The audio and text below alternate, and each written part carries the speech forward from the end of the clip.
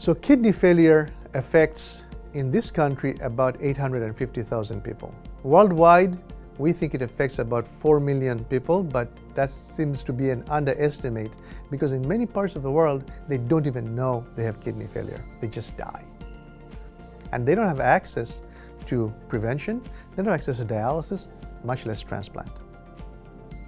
So having an artificial kidney that can be made available anywhere in the world to people with kidney failure would be a transformative achievement. Do we think this is possible? Well, let's look at the cell phone. As we know, in many parts of the world, 30, 40 years ago, just getting a land phone line was almost next to impossible. Today, we have mobile phones all over the world. They've democratized access to information. The artificial kidney has the possibility of doing the same for kidney failure as well.